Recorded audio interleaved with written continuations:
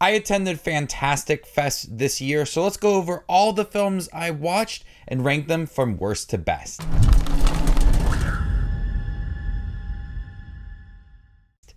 Hey everybody, my name's Justin here. I try to watch everything that hits theaters and on streaming services. If you guys are like me, go ahead and hit that subscribe button down below and click that notification for more up and coming content. I was able to attend Fantastic Fest remotely this year. It would have been so cool to actually be there in person seeing films throughout the day, but I got to see a bunch of films that I don't think I would have watched this year. So it opened myself up to new directors and just experience different films. If you saw films at Fantastic Fest, I would love to hear about the ones you saw and ranking them down below.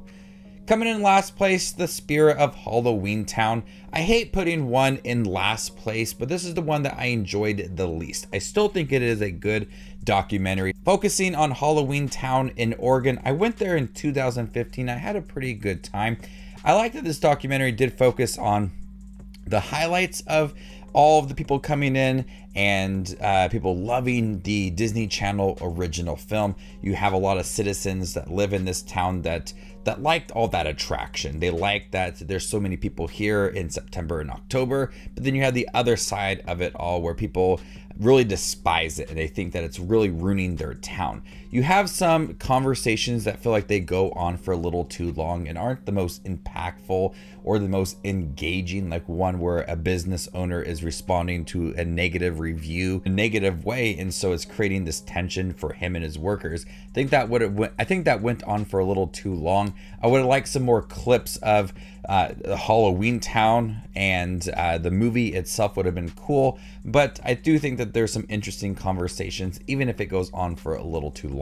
Coming in at number nine, Touched by Eternity. This is a vampire film. As this man that is obsessed with eternal life and has tried many ways to become immortal, he is now approached by vampires. And we see how he navigates becoming a vampire, people's reaction, uh, trying to hide all of that, and the thirst for blood. It's a nice way to bring uh, someone that was just turned into a vampire and showing their story, kind of diving a little bit deeper into it. It's a it has some comedic moments, but I never felt like that was the target of the film. I never really laughed too much within here. I was more impressed with the style of this movie. It is a little bit of a slow burn, but there is enough to supplement this movie with their character and his obsession with eternal life and becoming that vampire and seeing that progression uh, to see that see that progression of that character and watching him uh, transition more into a vampire. It's got a nice look to it. It's a very simple film, but I did enjoy this movie. Coming at number eight, The Severed Sun. This is a folk horror movie with a lot of chilling moments, and the performances are really good in here. They add a lot to the atmosphere within this film. This young woman lives in an isolated church community ruled by her father. We see how he is controlling a lot of things within this community from uh, attending church and helping out within the community. But when a man is murdered, there's paranoia within this small community, and people believe that a beast is called upon. There's a lot of haunting imagery within this film of the beast lurking in the background when certain dark sequences are approaching. You see the beast, and at times it's very subtle. At times it's like, oh, it's right there. We can clearly see it but I like that the way that it was presented in the background of this film. And so you have that a lot of the paranoia that sets in within this movie and watching our characters uh, really fear the beast. It's pretty violent at times and it's well acted. I was impressed with the acting within this film and how it's able to add a lot of depth to our characters and the tone of the film and its story and seeing that community and uh, the hatred that some people have for each other and the intensity along the way is definitely a strong part of this film. It's beautifully shot for a more low budget film. Uh, the scenery, the the beast in the background, all of it looks really good. It's a really impressive folk horror film. Coming in at number seven, Spermageddon this was a very interesting film. It's an animated film uh, with sperm, and you have characters uh, in. have these sperm characters that are trying to be the main sperm and uh, it feels like a, a, classic animated movie with that story of an adventure and uh, not trying to go too much into detail with everything but you have uh, human characters and uh, they are having sex for the first time and uh, these characters uh, have a very endearing storyline. It's really awkward at times uh, and uh, there's some clumsy moments amongst the two, and it leads to the sperm having uh, a different adventure. I like this movie. There was humor, there was heart to it, there was graphic moments for our adults, but I th- thought that this movie was very genuine with its approach and trying to be something very different and very adult. And so with that, you had this nice balance of a decent story throughout for both the sperm characters and the adults. Coming in number six, Mr. Crocket.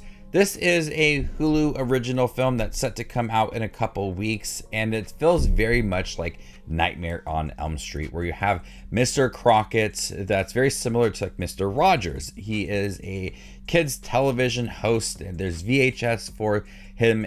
He tries to help kids that are part of an abusive family. He comes out of the television set, tries to hurt the parents and take the kids into his show. There's a lot of practical effects in here that give it a Nightmare on Elm Street vibe, where you have a lot of like creatures or things that Mr. Crocket is controlling to hurt the parents.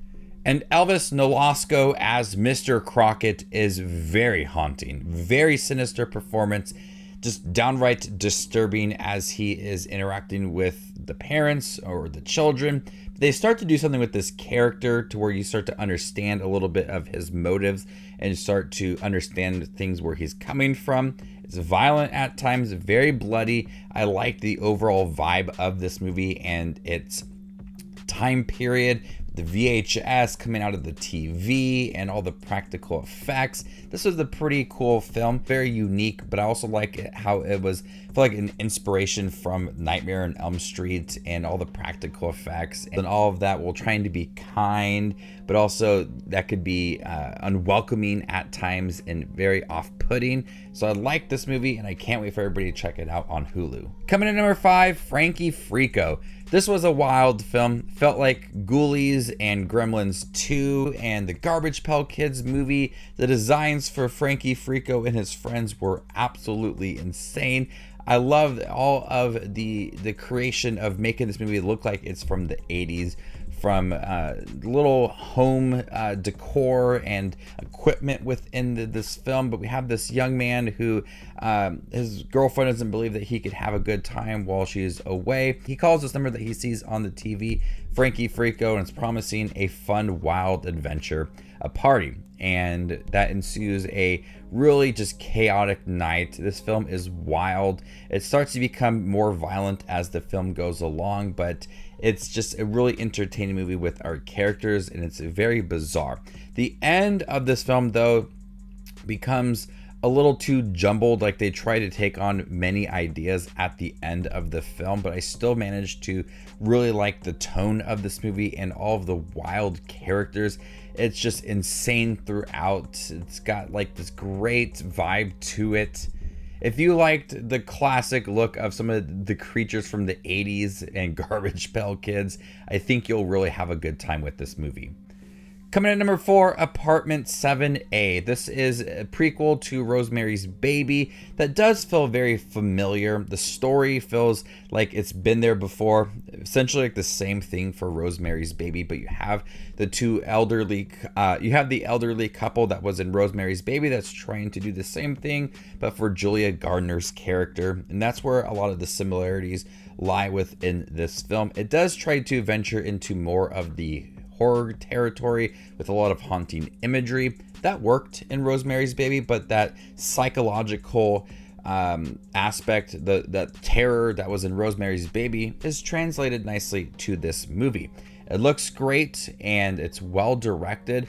The performances are very strong, especially coming from Julia Garner, who is able to focus a lot on trying to have uh, this fame in New York City. So whenever she's presented with things that are rewarding to her, she's going to take that. And so she sees these opportunities and she's going to go for it. But see this character become less reliant on all of that and become more independent. It's a very strong transition for our characters. Although the story does feel very familiar, that adds more depth to what was going on in this apartment building in regards to the babies and rituals and everything, all of that, trying to control things within this apartment building. It just adds more layer to the story. So I did like Apartment 7A mostly for mostly for the performances and the overall tone of this film.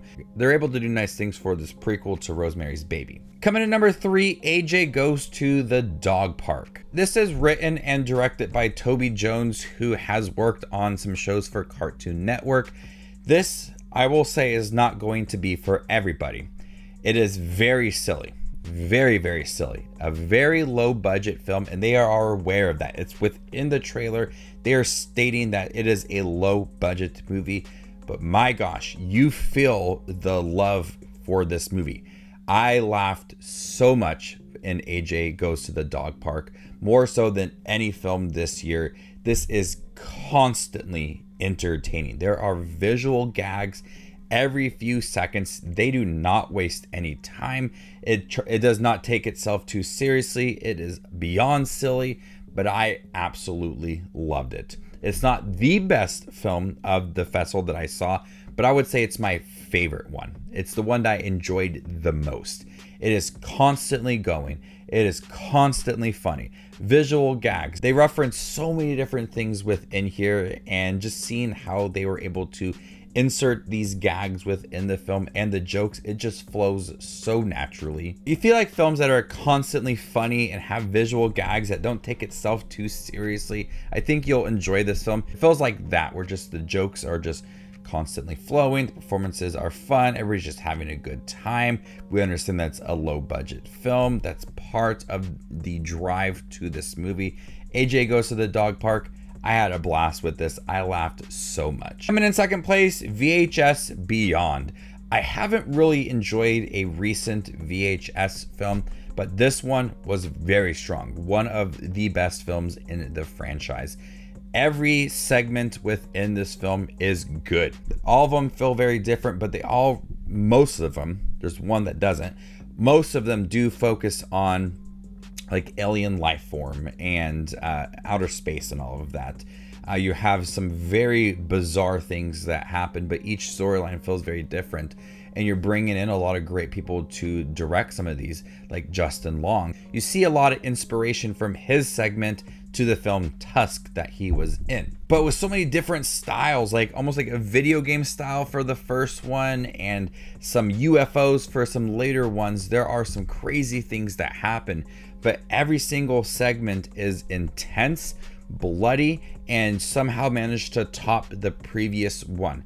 When it comes to a VHS film, there are some segments that I like, some that are just kind of boring, and that's where kind of, some of them just kind of uh, the overall film isn't very good. But when you look at this film and every segment hits, that's what makes it so good.